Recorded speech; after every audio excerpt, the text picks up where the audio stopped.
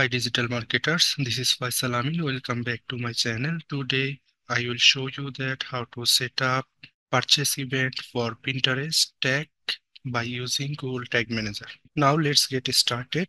We have to confirm that our data layer is enabled with our website or not. So we are go to Google Tag Manager and go to the preview option to check it out. Our data layer is enabled or not. Uh, that is our dummy website and connect with the website by Google Tag Assistant. Now scroll it and open a product page and then go to add to cart and also the second one will be click the add to cart button after completing add to cart process then go to checkout options and click the checkout and here we will put the dummy information for the purchase event and place in order our dummy order is completed now back to the google tag assistant and check it out what is happening with our data layer. Now we see that our purchase event is working and if you go to the data layer options here you can find out your product variable which you want to make any kind of parameter for this you require event.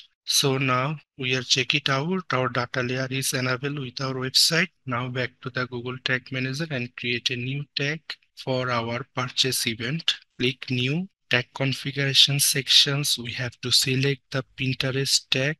Here we see the Pinterest tag, click the Pinterest tag. Now we put the tag ID which we are implementing in the part one and two, that is Pinterest tag ID we are it. Now time to html for the html you have to click, click the plus sign. And also here in the variable section you can click the plus sign. And the variable configurations we are the creating data layer variable for that. Now we are find out the variable from the tag assistant. So we are go to the tag assistant and find out the, our hash email go to the data layer, you can see that in the order data sections, we can find out our hash email. So we can picking the parental topic as a order data. And secondly, we are pick customer for the hash email and and then we are picking the billing and here you see the email hash you can see in our data layer already provided the hash email.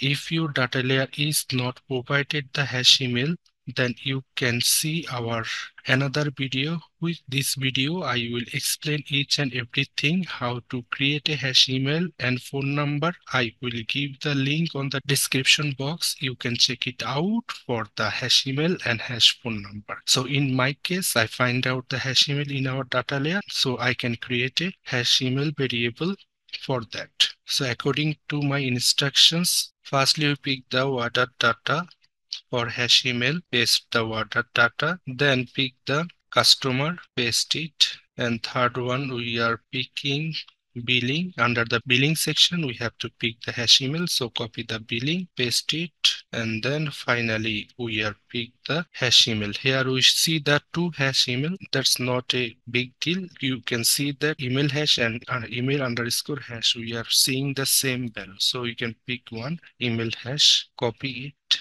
and paste it hash email. Now we are giving a variable name that is hashed email. Save it. Then next we are finding our event. We are select the checkout event. I think you are already know that Pinterest do not provide any kind of purchase event. Pinterest only provide the checkout event and which are count by the purchase. So we are select the checkout for the Pinterest. So now time to order value. We are creating a new variable for the order value. According to my instruction, you can click the plus sign and also in the variable sections, you can click the plus sign. And now time to create a variable from that for that, we are click the data layer variable and go back to the, our tag assistant, finding the variable for the order value. So go to the tag assistant and you can find out that in the purchase event sections, you can find out the value. Here we see the total value, not a single value. We want to put the total value. So we are pick this variable you can see value. So firstly pick the e-commerce. Then secondly, as a child topic of e-commerce, copy the e-commerce, paste the e-commerce dot, and now our finally pick the value. So copy the value from it and paste the value. So we're giving a variable name that is DLV total value, not a single value. I say it again, save it. Now time to currency. Again, the same process. Click the plus sign and also click the variable plus sign to create a currency variable that is data layer variable and go to the tag assistant to collecting the variable for the currency. So here we can see the currency and copy the e-commerce, paste it dot currency, copy the currency and we are giving a variable name also that is DLV currency save it. Now time to order quantity. Then again click the plus sign. And here also the plus sign. By this time we are creating the this variable for the custom javascript variable. Because you can see the our google tag assistant and go to our data layer. Here you can see we are ordered to product. And here you can see the quantity is one for first one and second one is a quantity one but we have to put in the total quantity. So for this total quantity, we are using the custom JavaScript code. This code is help to collecting the all quantity of products. So now we are creating a custom JavaScript for the total quantity parameter. So as usual, click the custom JavaScript after the putting the code we are add our e-commerce items which we are created part one that is dlv items and here we putting the code also here you see the quantity as per your data layer you have to putting the value as a quantity. If you back to the Google Tag Assistant and here see our variable showing here quantity. If your data layer is suppose something like that items quantity or product quantity, then you can putting the product quantity and item quantity. But my data layer is showing only the quantity. So I'm putting the quantity as a value here. So we are done for that. Now giving a variable name, variable name that is custom JavaScript total quantity CJS and total quantity. Save it. And also we are putting a order ID variable. So click the plus sign and also here click the plus sign and that will be the data layer variable. And for the variable value we are go to the google tag assistant and finding out what is our order id here you see that is our transaction id that is the order id according to ga4 schema that is called transaction id and according to pinterest schema that is called order id so we are pick the transaction ID. So firstly, we are pick the e-commerce and back to Google Tag Manager, paste the e-commerce and again we are picking the our final variable parameter is transaction ID. So paste the transaction ID and finally giving the name of this variable that is DLV order ID.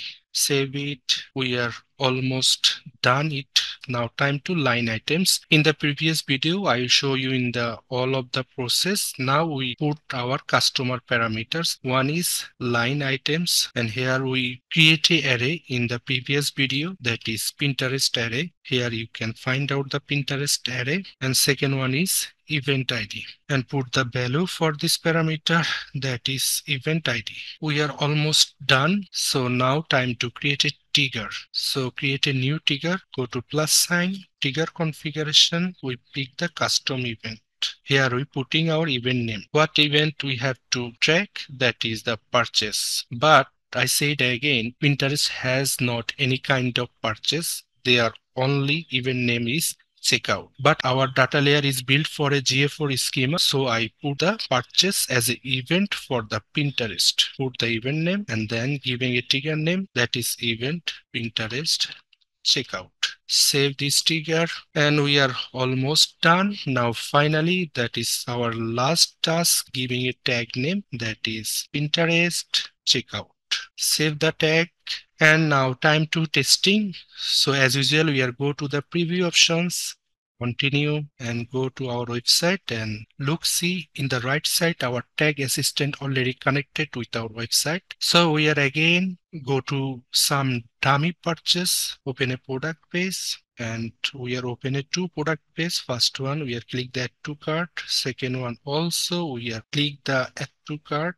And after completing that to cart processes we are go to the checkout. And here click the checkout button and and this time we are putting in some dummy information for this place and order process and place and order and back to the Google Tag Assistant. Here see our Pinterest checkout tag is fired perfectly go back to our Pinterest tag helper and see are showing there our all information. Here we see our both information, our product ID, product name, product price, all of that are showing here. And now we are go to ads.pinterest.com in the event overview sections. Look at that. Our checkout event is working perfectly. If you go to the details here, events field and parameters all are working perfectly. So congratulations. Finally, we are successfully set up the Pinterest purchase event by help of Google Tag Manager for our website. So thanks for watching this video. I will see in the next video. Thank you.